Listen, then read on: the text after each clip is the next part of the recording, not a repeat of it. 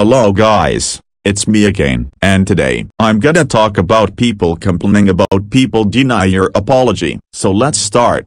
Well guys, just because people deny your apology, that doesn't mean that you are gonna complaining about people deny your apology. For example, stop denying my apology right now. Like come on, people have the right to deny your apology, and if people deny your apology, deal with it and handle people denying your apology already. It proves that people is acting like a Jay Kaiser 2.0, so please, do not complaining about people denying your apology. So anyways, that's so for the talk about people complaining about people denying your apology. This is me, signing off.